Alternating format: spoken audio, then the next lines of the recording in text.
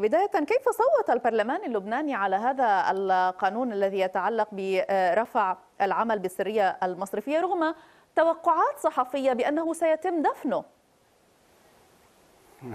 طبعا هو في الحقيقة يعني مات قبل أن يولد. أو ولد ميتا إذا أصح التعبير.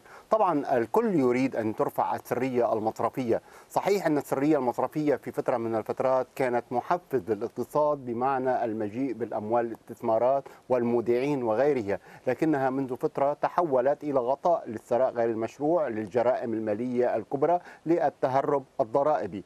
اليوم عندما أقر بهذه الطريقة جرى توسيعه لدرجة أنه بات من الصعوبة بمكان أن نعرف من أين أن نبدأ؟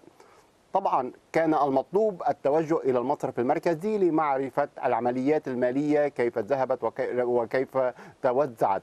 لكن اليوم عندما نقول الإدارات المؤسسات وبالطبيعة الحال كان يجب أن يكون تدقيق بحسابات الوزارات والمؤسسات والإدارات العامة لكن ليس فقط لمدة سنة أن يرفع بانتظار انتهاء التحقيق. يعني من الآن وحتى سنة الوقت ضيق نسبيا وبالتالي لا نعرف من أين سنبدأ. هل نبدأ بالإدارات؟ هل نبدأ بالوزارات؟ هل نبدأ بمصرف لبنان؟ وإذا بدأنا في هذا المكان هل هو المتاح أم أن البعض سيقول لماذا لا نبدأ في المكان الآخر؟ وكلنا نعرف أن هناك خلافات سياسية حول من يريد بهذا المكان ومن يريد ذاك. يعني التيار الوطني الحر يريد تدقيقا بمالية المصرف المركزي في حين الآخرين أو خصومه السياسيين يريدون تحقيقا في وزاراته وتحديدا في وزارة الطاقة أو في وزارة المال لحلفائه مثلا في حركة أمل.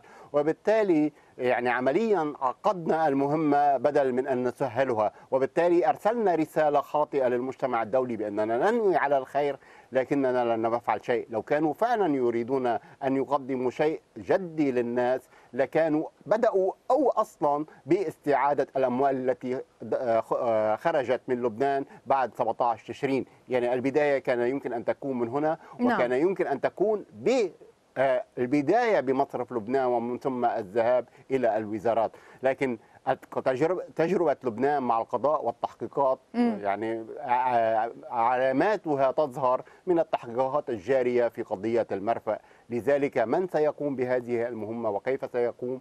وهل يمكن فعلا الثقة بالمجموعة السياسية الحاكمة التي أوصلت البلاد إلى ما وصلنا إليه الآن؟